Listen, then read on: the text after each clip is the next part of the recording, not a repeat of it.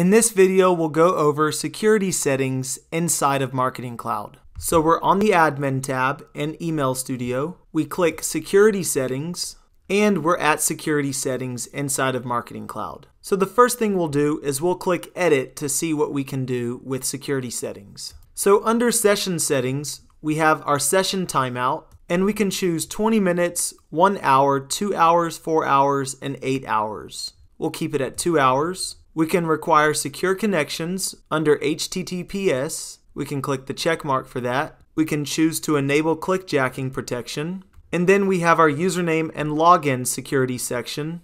So we can choose login expires after inactivity and we can choose never expires or 30 days, 60, 90, or 1 year. We can choose the number of invalid logins before lockout, 3, 5, or 10. We can choose the minimum username length, 4, 6, 8, or 10 characters. We can allow users to grant account login access for support. What this basically means is that if you create a Salesforce support ticket, you can allow users to grant account login access so that Salesforce can help on those support tickets. We can restrict logins by IP address which is IP whitelisting. We can choose our IP whitelisting list source, which can be defined at the business unit level or the enterprise level. We can allow machines that aren't on the whitelisted IP address to access our Marketing Cloud org. We can click this box if we want this enabled. We can choose our identity verification. We can choose our business unit identity verification, browser verification code lifetime, the time a browser can be inactive before requiring verification, and we can choose our last two checkboxes to do not require identity verification for machines inside the whitelist and enable username and password for web services. Down here under password policies, we can choose our minimum password length, our password complexity, which can be 1 to 6 alpha, 1 to 6 numeric values, and 1 to 6 special characters. We can enforce password history. We can define the time that our user passwords expire. We can choose to exclude API users from password expiration